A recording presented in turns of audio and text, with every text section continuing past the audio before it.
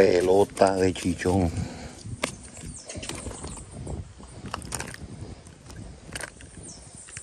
Vamos a cogerlo con el gripper.